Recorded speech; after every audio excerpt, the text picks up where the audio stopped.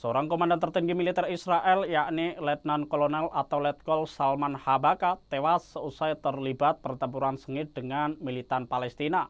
Salman Habaka meninggal saat ia turut memimpin serangan darat tentara Israel di jalur Gaza.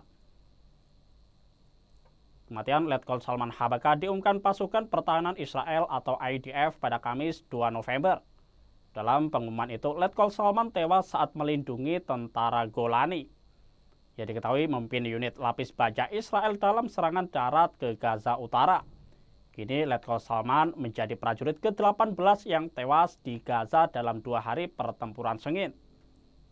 Dia adalah tentara Israel paling senior yang terbunuh sejak serangan darat meningkat pada hari Selasa. Dikutip dari The Times of Israel, Letkol Salman Habaka merupakan komandan batalion 53 Brigade Lapis Baja ke-188. Perwira berusia 33 tahun itu meninggalkan seorang istri dan anak berusia 2 tahun.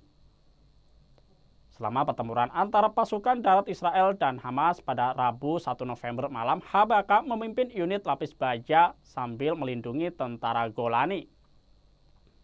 Habaka diketahui termasuk tentara Israel pertama yang terlibat dalam pertempuran dengan militan Palestina sejak 7 Oktober lalu.